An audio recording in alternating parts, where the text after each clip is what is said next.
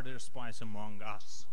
Josephine Baker has just landed in Sintra, five months after her first foray into the clubs in Lisbon, where the papers describe her as the best jazz band artist, the devil dancer or the black Venus.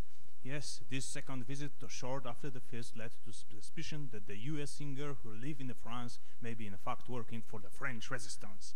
Well-informed sources ensure news that TV that Baker is meeting British intelligence officers to offer them information on the Nazi troops' location in France and photos of German naval resources. Allege the singer carries this message in tubes inside the lining of her jacket and notes hidden in her bra. We will remain attentive. Viva la résistance!